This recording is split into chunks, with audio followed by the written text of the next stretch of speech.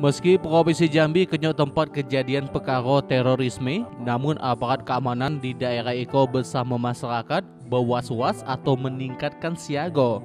Bahkan kepolisian bersama TNI siago 1. Kini kondusivitas balik muncul di TKP kejadian teroris. Meski begitu Kapolda Jambi katakan Provinsi Jambi tetap bersiaga.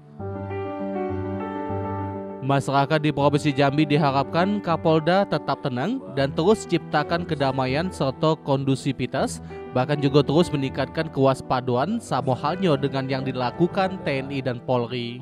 Penjelasan tersebut Kapolda sampaikan usai tatap muka di Polda dengan tokoh lintas sektoral dan jajaran Porkopimda membahas antisipasi terorisme dan pembahasan sistem pengamanan pilkada. Melaksanakan segala upaya untuk meningkatkan kewaspadaan, saya bersama Pak Dandem dan bersama masyarakat sudah berusaha mengimbau masyarakat untuk tenang tapi tetap dengan tingkat kewaspadaan.